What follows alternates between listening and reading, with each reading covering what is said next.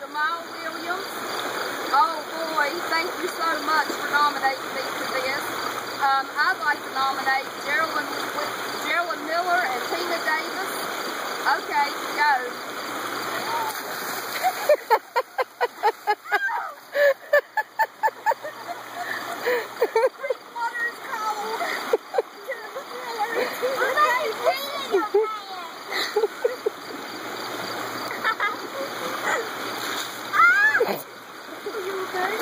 Get me out!